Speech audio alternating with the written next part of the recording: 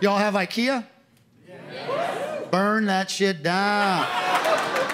Fuck IKEA, man. If you haven't been to IKEA, I can explain IKEA to you, man. IKEA is like a haunted house.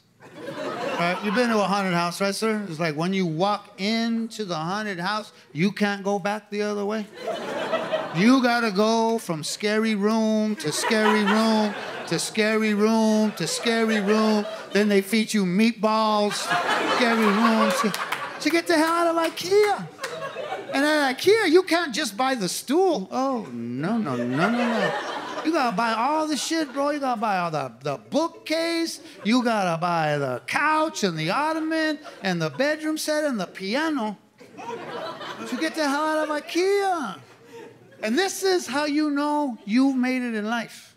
When you buy furniture and they take it to your house and they set it down and they leave, boom, you made it. I have not made it. My shit shows up in a box with an Allen wrench.